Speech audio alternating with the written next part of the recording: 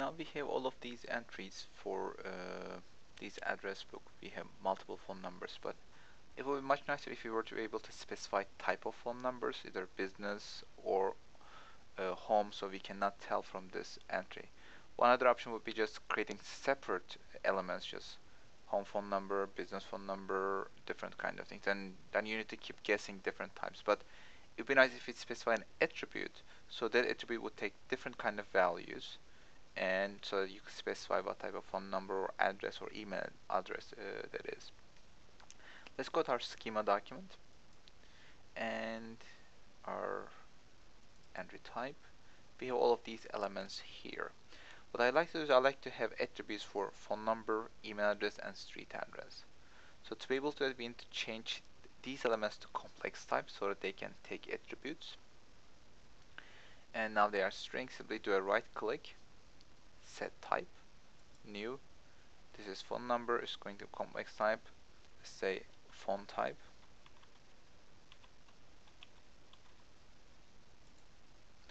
And let's do the same thing for the email address.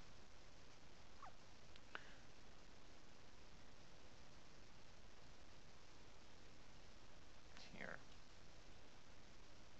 Let's call this one address type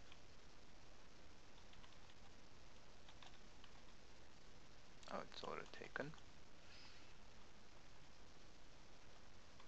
Email type. And let's change this one to street type.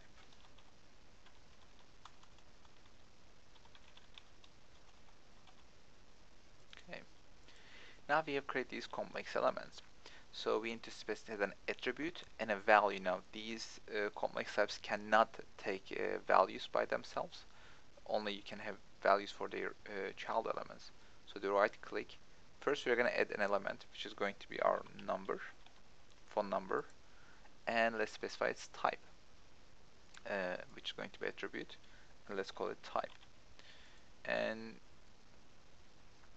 there are some other uh, options uh, you can look at uh, W3 Schools uh, website where you can actually specify this is number so it can take only strings of numbers but this default string value is fine at this time.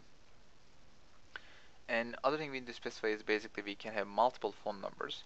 So this phone number uh, repeats. So we have this one here. We're going to do the same thing for email at element. It's called email. And type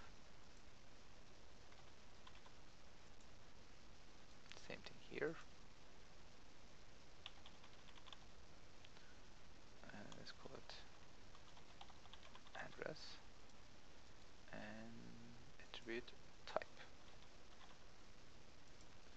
Let's save it and let's quickly validate our schema document.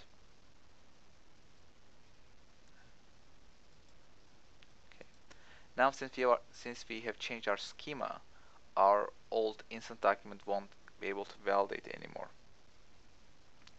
uh, against this schema, but we could have saved it under different name. So let's create a new schema, uh, new instant document.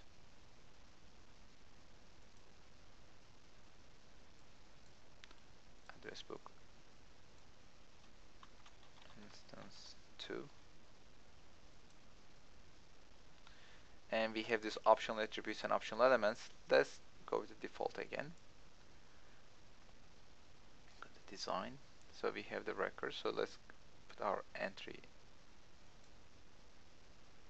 fields here. So we have first name, last name, and let's call it Jane Doe.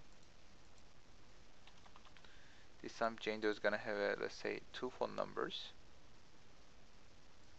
Number and another one. and add another email address. Okay.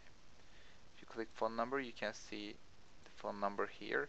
Uh, let's put the phone number.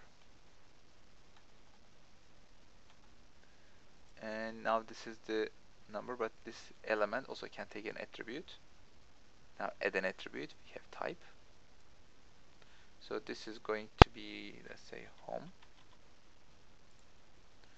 and same thing this phone number let's add attribute to. Say office.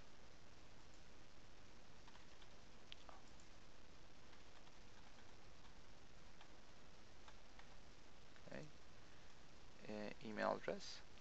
Since uh, attributes are optional so you need to add them manually here like this for email address. Okay can, this is its personal email address.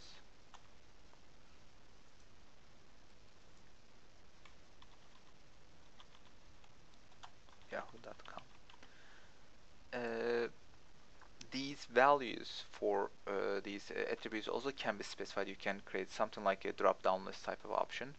Uh, but uh, for sake of this example we kept them uh, basically we allow them to take any value. So let's save it. And this validated. It's valid. Also if you look at the source view so you can see how it looks like. So we have the phone number type here phone number type email address type here. So that's how it appears.